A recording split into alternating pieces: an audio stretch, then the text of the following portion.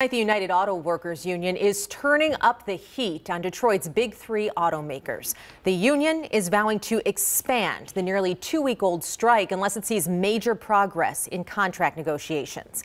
UAW President Shawn Fain is expected to detail a new round of strike targets across the country tomorrow at 9 a.m. Right now, more than 18,000 employees have walked off the production line. Striking workers are seeking big raises, as much as 40 percent, and better benefits. So far, the automaker's best counteroffer is around a 20 percent pay bump. Well, Gordon Severson joins us now with how this ongoing strike could soon affect you and the car you're already driving. Gordon?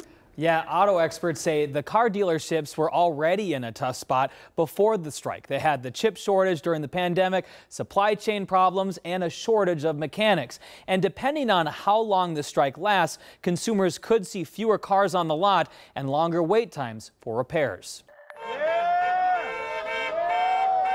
Auto workers have been on strike before, but not like this. This is the first time the unions have ever struck all three big Detroit manufacturers. I'm afraid this one could be a doozy to be honest. Scott Lambert is the president of the Minnesota Automobile Dealers Association. He says the union also picked a unique target for the strikes this time around, hitting parts distribution centers. It's a way to get the consumers to feel some pain. They're trying to cause pain for the consumer. Lambert says the association and many dealerships are staying neutral in the strike.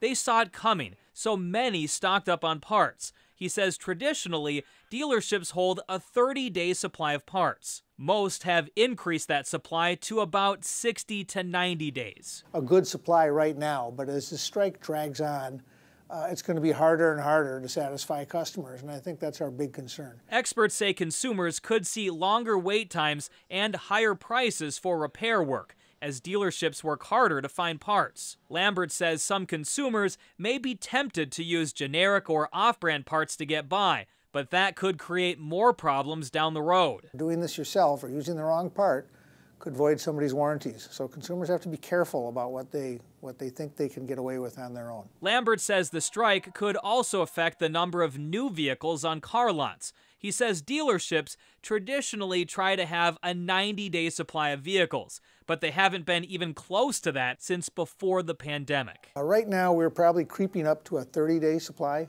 uh, trying to get more, but the strike now is going to impact that. Now, we could see an even greater impact on consumers depending on what plants the union adds to the strike tomorrow morning. Experts say right now dealerships can still get parts and new vehicles because production hasn't stopped completely, but that could change depending on what the union decides to do moving forward.